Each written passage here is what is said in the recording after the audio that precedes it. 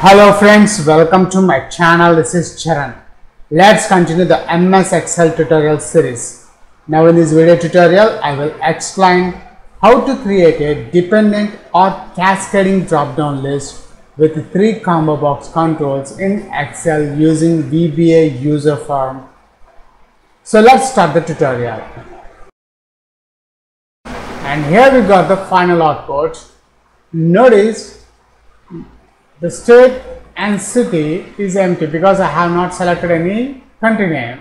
If I select India, I have only two country names, so it's displaying only two country names. If I select India, here I will get the India state names. If I select Maharashtra, the capital of Maharashtra is Mumbai.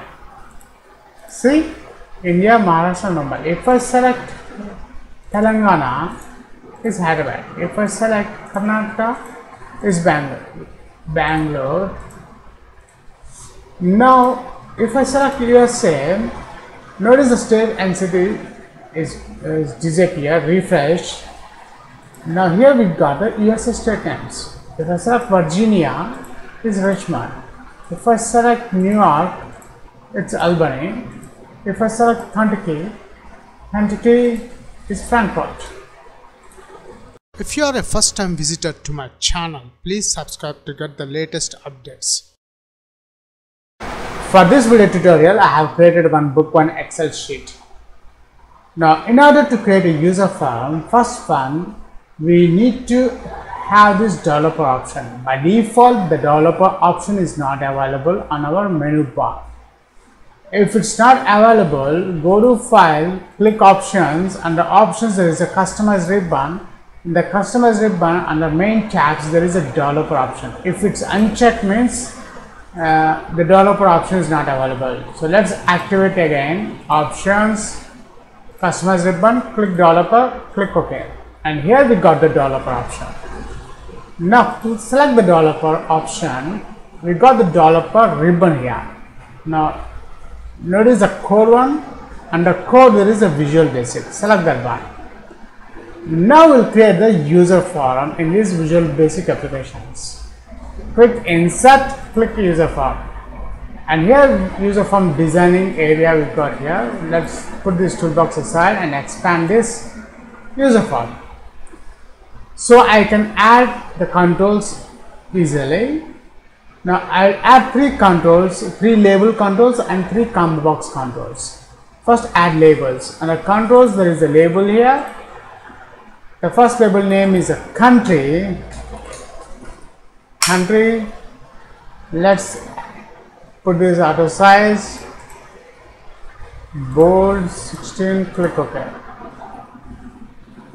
Click ok.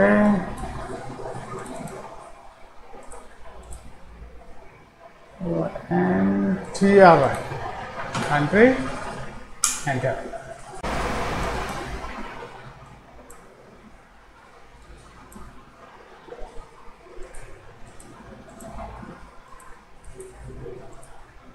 Uh, now search this country, Control C, Control V. Rename this one as a state. The third one is a city.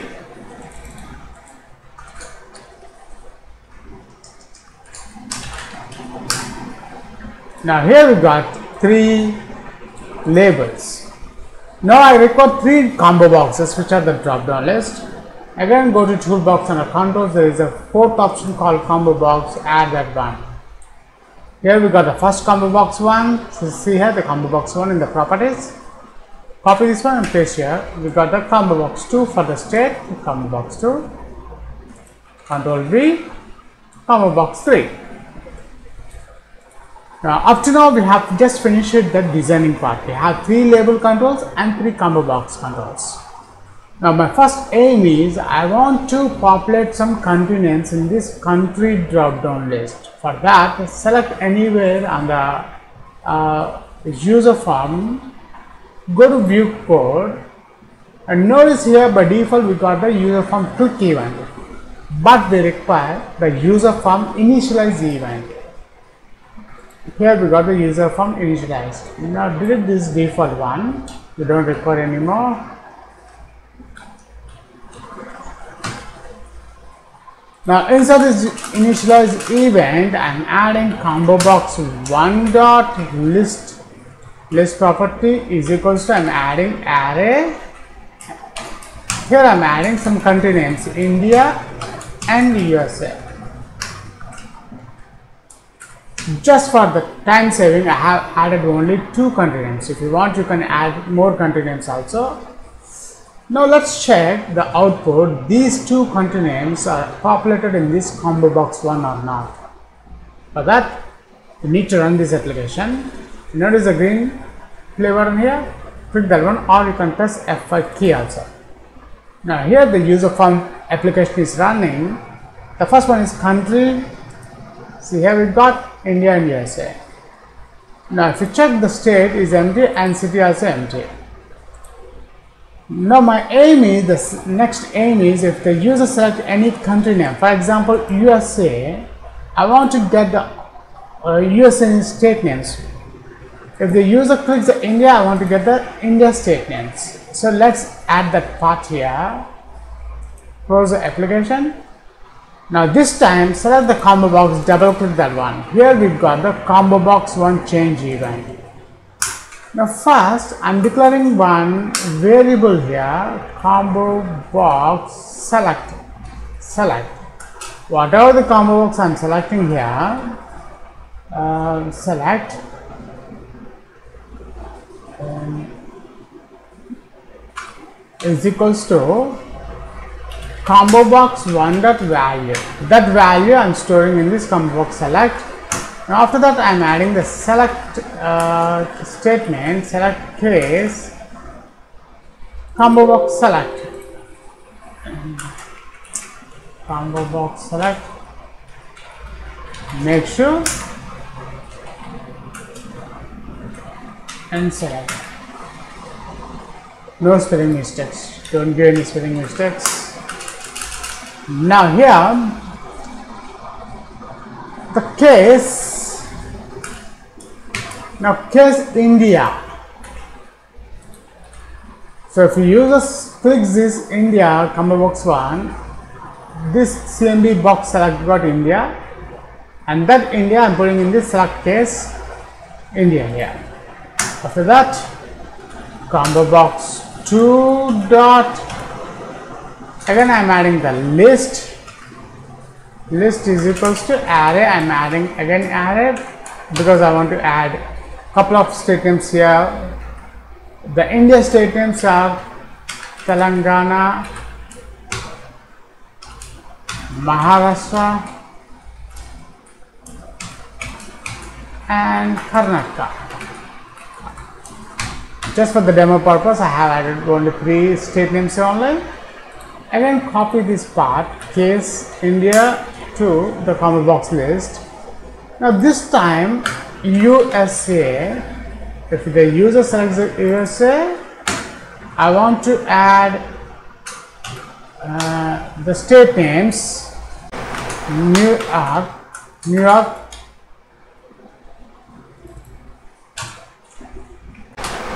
Second state name is Virginia Virginia. The third one is Kentucky I, I have added three state names for this USA country. Now let's check these country these state names are populated in this combo box 2 when we select any value from the combo box 1 any country name from this combo box 1 let's run this application. Country right now the state is empty.